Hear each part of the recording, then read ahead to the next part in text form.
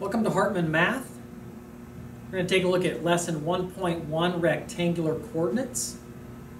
We're going to begin with the Pythagorean theorem, something you should have experience with. Within a right triangle, a squared plus b squared is going to equal c squared. And that's going to connect to the distance formula. Because if we're taking a look at finding the length of any segment in the coordinate plane, we can essentially make a right triangle out of that. And then we would be looking at a squared plus b squared equals c squared. And we can find those lengths with the coordinates.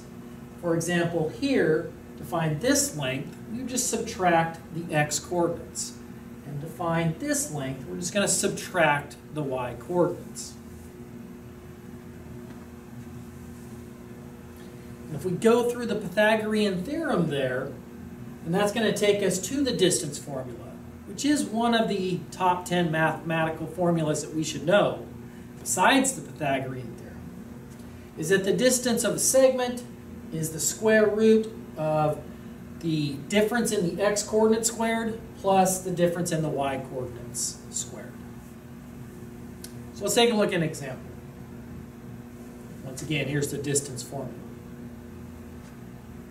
Find the distance between these two points.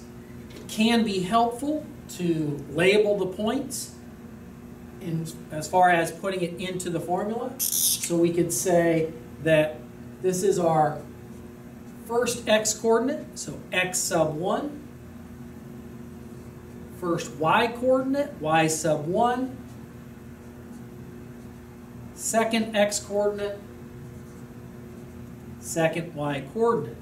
And then when we put it into the distance formula, we would be going uh, 1 minus negative 3 in parentheses squared plus 3 minus 5 in parentheses squared, square root the whole thing, that would be the distance. So if we do the calculations, we get 4 squared plus negative 2 squared. And 4 squared is 16, negative 2 squared is 4. Add those up, we get 20. So the square root of 20 is the distance. And then if we're going to simplify that, we could break that up into the square root of 4 times the square root of 5. And therefore, the fully simplified distance is 2 square root 5.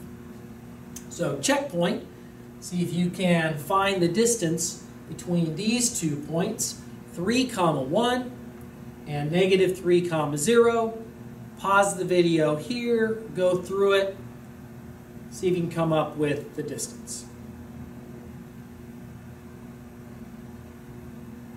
Hopefully what you got is here showing how we would substitute in is no simplifying necessary on this one. The distance between those two points is the square root of 37.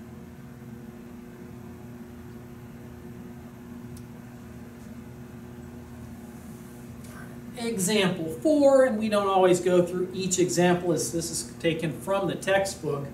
Uh, we have three points and we want to see if uh, that would make a right triangle. So we're trying to verify if this is in fact uh, a right triangle. So uh, with three points, if we connect the points, we're going to make a triangle, and we'll test if it's a right triangle. So the first distance, we'll take the first two points here and find the distance between those two points. Um, and we're going to go 2 minus 4 squared plus 1 minus 0 squared. And so we get 4 plus 1, so it's the square root of 5. And then we're going to take a look at distance 2, the length of the second side of the triangle. And we'll go between these two points here. So negative 1 minus 2 squared plus negative 5 minus 1 squared.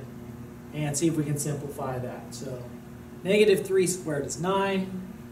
Negative 6 squared is 36. Add those up, we get 45. So we have the square root of 45. And yes, we could simplify that, but we weren't really asked to find the length of the segment. We're just going to use it. So we're going to leave it unsimplified. And then the third length would connect this point to this point.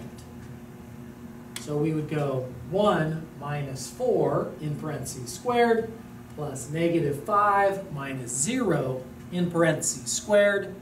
See if we can evaluate it. So negative 5 squared is 25. Another negative 5 squared is 25 again. 25 plus 25 is the square root of 50. So if this is a right triangle, the Pythagorean theorem must hold. This is clearly the longest side, so that would essentially be our c. So we're going to check does a squared plus b squared equals c squared. Let's test it out. Root 5 squared plus root 45 squared, does that equal the square root of 50 squared? Well, yes, it does because we get 5 plus 45 equals 50. So since it's a true statement and it holds true to the Pythagorean theorem, that is a right triangle. The next thing we're going to look at in the coordinate plane is the midpoint formula to be able to find the midpoint of a segment. Um, so here's our formula. It's really just averaging the coordinates. So add the two x coordinates together, divide by 2 since there are two of them. Add the two y coordinates together, divide by 2. We're just finding the average of the x's and the average of the y's. So example 5, find the midpoint of this segment. Again, we could label them x1, y1, x2, y2. This is a pretty easy one, because all we're going to do is we're going to add the two x coordinates, the negative 6 and the 7, and divide by 2 to find its average, and do the same for the y's. So negative 6 plus the 7, divide that by 2. 1 plus 4, divide that by 2. It is a point. The midpoint is a point. So we're going to definitely put that in parentheses to signify that it is a point. If we just simplify, evaluate, we get 1 half, comma, 5 halves. If you really need it to be decimals, since the decimals are exact, also correct would be parentheses 0, 0.5, comma 2.5.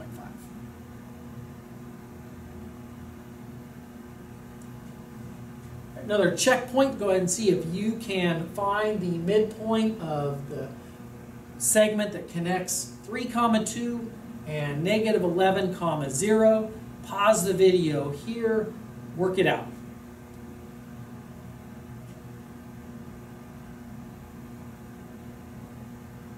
What you should have gotten was the midpoint is negative 4 comma 1 inside of parentheses.